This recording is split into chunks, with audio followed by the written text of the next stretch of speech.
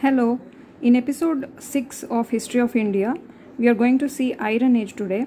So, under History of India, we are dealing with uh, ancient and medieval India, and so far we have completed till South India. Now we are entering into Iron Age, specially uh, focusing on the South Indian Iron Age because Iron Age is much felt over in South India more than in North India.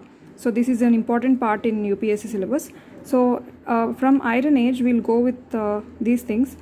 So the first para reads the Iron Age is in peninsular India, that is the South India, having uh, what is a peninsula and everything we have discussed in the previous video. So the Iron Age in peninsular India, as in the north, is now known to have begun as early as 1000 BC. So 1000 BC has to be remembered because that was when Iron Age began. So Neolithic period, uh, that is when metals came into existence, so that neolithic period or chalcolithic period they were varying till 1000 bc like they have started around 7600 bc to 3300 bc so that was when neolithic age ended. So iron age has begun after that in 1000 bc and it extended into ad also. So this is somewhat earlier to what was uh, formally spo- spoken about. That was about north india or harappan age. We were speaking about north india in our previous video about that under that we were speaking about harappa. So harappan civilization uh, in harappan civilization the iron age began much later to 1000 bc so iron age first began in south india and then it extended to north india. So that is what we must know. Most archaeological attention at iron age sites has been devoted to burials. So we see the feeling or the felt of iron in burial uh, uh, thing about South India. So the burial places or burial everything things related to burials were all made with iron. So that uh, that is what we have out of archaeological excavations to speak about iron. So these burials were often associated with megaliths. So megaliths are those uh, monumental things that were made out of stone. We saw some megalithic sites also, like uh, in South India or in Deccan. We feel we find these megalithic sites more. So megaliths in the form of large stones, in the sense building monuments or burials with large, huge stones is megalith. Microliths are small, small things with stones. So in Iron Age, megaliths were also there. So with large stone slabs, there were various things, various uh, burials or various monuments formed. So some examples of such big, big uh, megaliths are menhirs, dolmenoid cists, or circles of stone.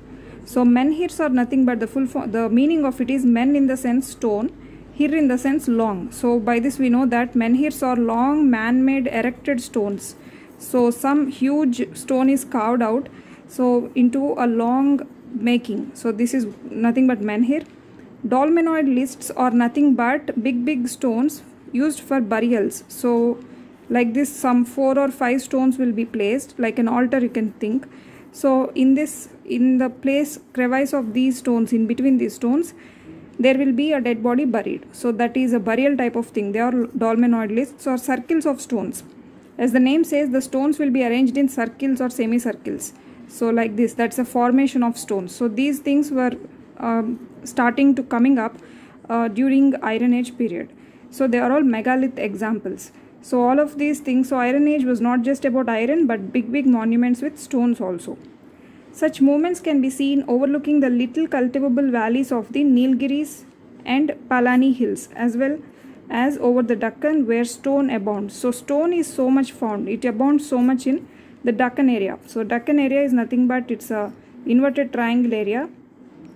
So this is West India.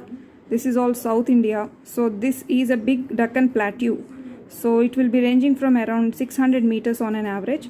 So the, in this peninsular india we have this deccan plateau. So here we have indian ocean. So this deccan plateau extension is like this.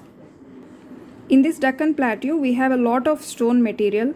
So out of these stone material we see these megaliths. So we find this especially in Nilgiris, in the cultivable valleys of Nilgiri. Nilgiri mountains are in western Tamil Nadu. So they are a part of western Ghats so these are Nilgiri mountains and as we are speaking about Nilgiri mountains the highest peak in Nilgiri mountains is Doddabetta. So that is around uh, 2600 and odd meters high Doddabetta. So Nilgiris is in Deccan. And Palani Hills are also an extension of Western Ghats, eastern extension of Western Ghats and Palani Hills we see them in Tamil Nadu and also they extend towards Kerala also. So this is also an extension of Western Ghats, eastern extension of Western Ghats. So overlooking these two, so from these two hills that are part of Deccan, we see these things, we see this stone abounding uh, uh, megaliths in Deccan area. So this is what we find from excavations of Iron Age. Stone alignments and sarcophagus burials are found over northern Tamil Nadu. Sarcophagus burial is nothing but burying a body with a tomb of stone. Like we, we find these tombs these days in uh, the form of wood. So wooden tombs we see today. So but in earlier back then in Iron Age the tombs were made up of stone. So these tombs were not just with a small shape but they have some carvings on them. Carving of a person or carving of some flowers or some decoration will be done over the stone. So a huge stone we can say. So that is sarcophagus burials. They were all found in northern Tamil Nadu during Iron Age. Though it is called an Iron Age, the ma major thing is about all stones, big big stones because these stones have to be carved with the help of iron tools. So that is about Iron Age. In almost every sizable settlement in the fertile parts of southern Tamil Nadu, pot burials are seen. Pot burials are called tali burials. So in the same Tamil Nadu, in northern Tamil Nadu, we were seeing sarcophagus burials. They are stone tombs. In southern Tamil Nadu, we are seeing tali burials. They are pot burials. In a huge pot, in a huge clay pot, the burial dead body will be placed and will be buried. So that is pot burial. They have been uncovered in excavations, suggesting that this area is well populated. So why one has to go with pot burials? Because they cannot afford a huge burial uh, tomb, tombstone because there, there is no place. When the population is high, people go with small burials like putting a dead body in a small pot and putting it and burying it. So this will suggest that Tamil Nadu has got well population during back then in Iron Age. In Kerala, there is a considerable range of distinctive but related monuments, such as large umbrella shaped stones. So, we were seeing these burials from Tamil Nadu, and coming to Kerala, now we see some large umbrella shaped stone structures and also burial chambers excavated in laterite. So Kerala has got laterite soil. So laterite soil is nothing but reddish clayey soil. So that is uh, rich in iron. So that's the reason why it is red in color. Iron and aluminium is present. So laterite is nothing but uh, soil like that which is formed out of or weathering away of igneous rocks. So that is mostly seen in uh, Kerala as these excavations show that burial chambers are excavated from these laterite soils. So we have seen what we have seen in Tamil Nadu. We have also read what we are seeing in Kerala from Iron Age. These are some excavations. So in these megalith burial complexes, so we are seeing big big megalith burials. There are uh, these stones, sarcophagus burials with stone tombs and big big uh, pot burials. So everything must be carved out of iron. So because of that, this iron implements were used. So that is why we are reading all of this under Iron Age. So these burials were also placed with lamps, etched conch shells and black and red ware. So as we have seen people back then were believing in life after death. So they were placing these lamps, black ware and red ware, etched conch shells with the dead uh, when they are buried. So conch shell is nothing but a spiral shell. It is a kind of mollusk and the marine shell we find like this. This is a kind of spiral shell. So these conch shells are etched. Etched in the sense some picture is carved on them. So breaking the material. So that etched conch shells, lamps and black and red ware, pottery ware were all placed along with the dead. It is notable that there is a fair degree of uniformity in Iron Age burial goods throughout the south. So throughout the south, whether it be Tamil Nadu, Kerala or uh, the upper parts of the Deccan like Maharashtra, everywhere we see that the Iron Age was all having same kind of uniformity in burial goods. The full impact of the megalithic iron using culture in the south was felt from about the middle of the millennium. So we have known that the millennium is or the 1000 BC is the time when Iron Age has started. But the full impact of the Iron Age throughout the south uh, in the form of megalithic burial grounds or usage of iron, it is the full full impact of usage of iron has been felt from the about the middle of the millennium that is around about 1500 BC. The full impact has come up all throughout the south in, in uniformity from 1500 BC. Megaliths were apparently built into the Sangam period. So Sangam period is a period that was uh, the main centrality of the period was concentrated around Madurai that is around Tamil Nadu. So in Sangam period, that is from 6th century BC, Sangam period eh, lasted from this period, 6th century BC to 3rd century CE. So BC to AD, 3rd century AD. So this is the period when Sangam, Sangam was ex existing. It is nothing but the period when there were many scholars and poets formed into groups. So that is called a Sangam. So megaliths were seen during this period. Sangam period is a period during Iron Age that we must remember. And as it is a period during Iron Age, even Sangam period excavations showed the presence of megaliths, which is a prominent characteristic of Iron Age.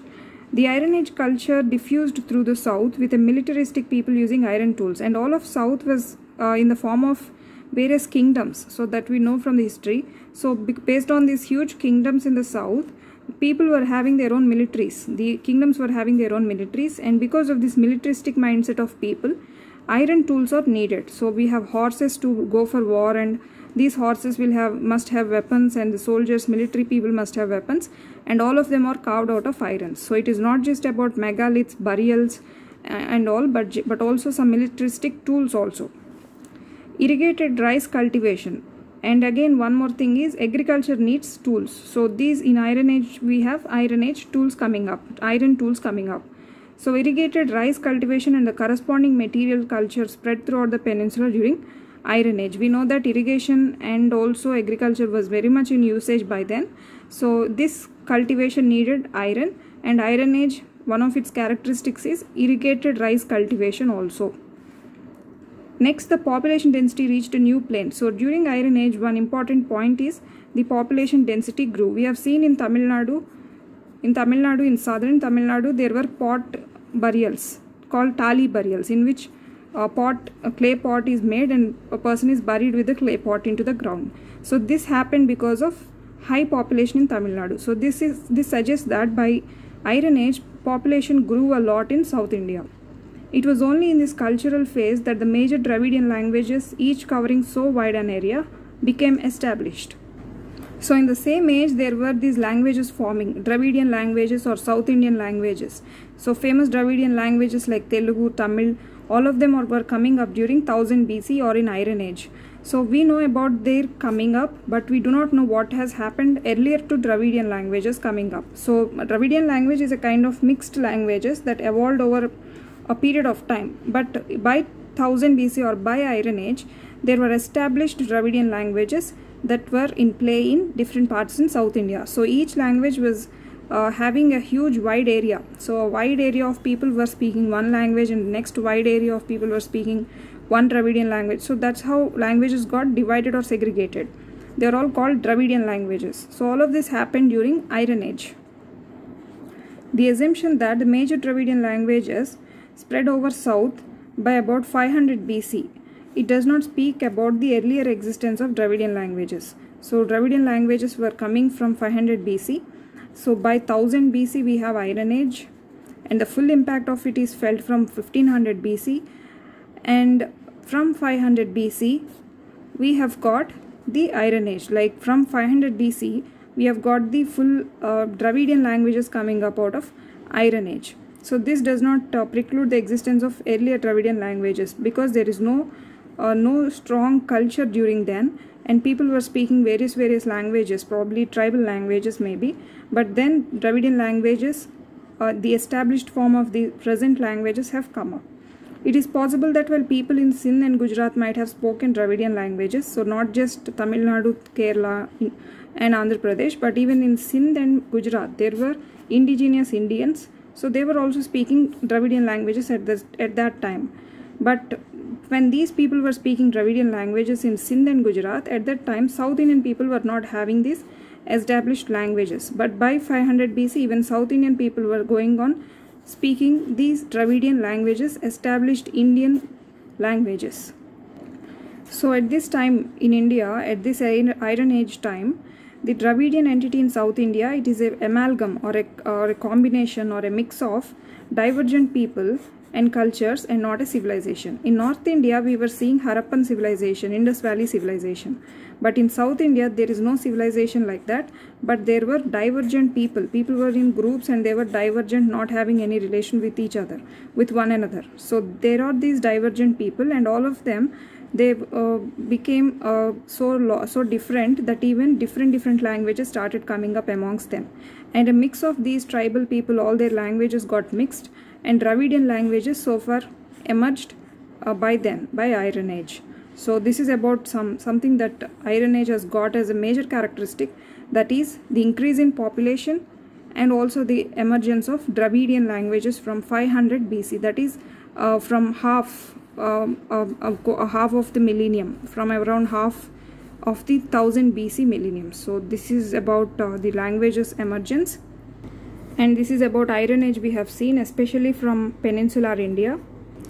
And the full impact of Iron Age though it has started in 1000 BC it has come after it is it was felt only about the middle of the millennium that is around 500 BC 500 BC not 1500 BC so though it has started from 1000 BC the full impact of megalithic iron age started from 500 BC that is the middle of the millennium middle of 1000 BC so some important characteristics included during iron age were usage of tools by military people rice cultivation and use of iron things for that and population density grew and languages emerged. They are dravidian languages in the south.